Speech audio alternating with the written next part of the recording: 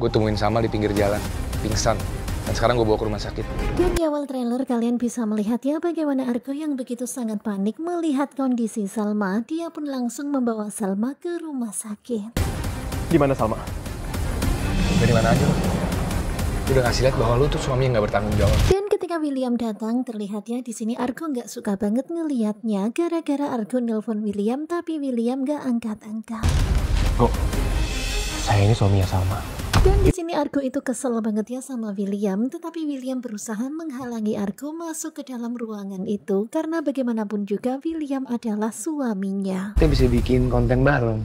Aku, Lilia, sama Om Froggy. Kemudian ketika Argo, William, kemudian Dinda dan Lilia berada di ruangannya Salma, di sini malah Argo bicara mau bikin konten sama Lilia dan juga Froggy. Dan kita bersyukur ya Salma sudah baikan. Mana aja lo, telepon gak angkat. Dinda juga telepon gak angkat. Kemudian ketika berada di luar ruangan, lagi-lagi ribut lagi. Di sini Argo masih tetap aja kesel kenapa William gak angkat teleponnya. Apa William lagi ehem-ehem berduaan sama Dinda? Lo berduaan sama dia ya?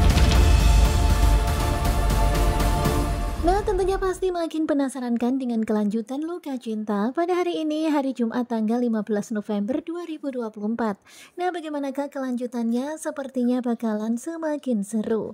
Simak kelanjutan Luka Cinta bersama dengan sinetronku. Terima kasih buat kalian yang sudah selalu setia dan jangan lupa nantikan video selanjutnya.